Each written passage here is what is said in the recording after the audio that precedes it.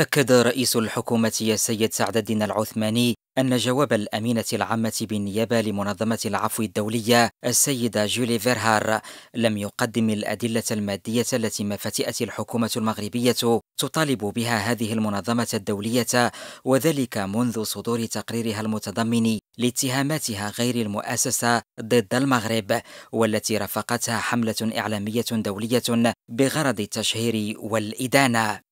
وقال السيد العثماني في تصريح لوكالة المغرب العربي للأنباء إننا في الحكومة المغربية ما زلنا مصرين على تمكيننا من نسخة من تقرير الخبرة العلمية التي اعتمدت في توجيه الاتهامات الباطلة أو نشره على العموم عوض إصدار تقرير مليء بعبارات تحيل على فرضيات تتعارض مع المعايير العلمية للخبرة مما يجعل الأحكام الواردة في التقرير بصيغة الجزم مجرد تعابير تفتقد لأي أساس علمي لإثبات ارتباط الاختراقات المفترضة لهواتف بعينها بالمغرب. وأضاف أن المغرب الذي اعتمد في تدبير هذا الملف مع منظمة العفو الدولية مقاربة مسؤولة ومنطقية وشفافة تحتكم فقط إلى الحجة والدليل العلمي يبقى منفتحا على الحوار البناء الذي يقتضي من منظمة العفو الدولية أن تدلي بما يثبت ادعاءاتها أو مراجعة موقفها كمؤشر على حسن النية لإعادة بناء الثقة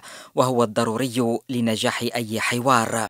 وذكر رئيس الحكومة بأنه قد توصل برسالة جوابية من السيدة جولي فيرهار جوابا على رسالتنا الموجهة لها بتاريخ فاتح يوليوز 2020 طلبا للإدلاء بالأدلة المادية المثبتة للاتهامات والادعاءات الواردة في تقرير المنظمة الصادر يوم 22 يونيو 2020